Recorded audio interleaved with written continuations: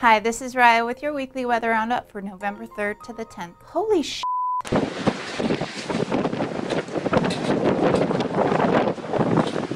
Super Typhoon Haiyan became a Category 5 on Wednesday and shortly thereafter made landfall Thursday morning local time on the Philippine island of Samar.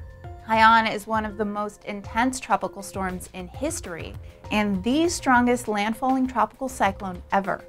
Ever with sustained winds at 190 to 195 miles per hour at landfall and an estimated central pressure at 895 millibars. Haiyan, aka Yolanda, had estimated maximum sustained winds at Category 5 strength for 48 straight hours, and it was at super typhoon status for 60 consecutive hours. After the damage from intense winds, rain, and storm surge, the Philippine government has declared a state of national calamity with an official death toll already over 1,700 people.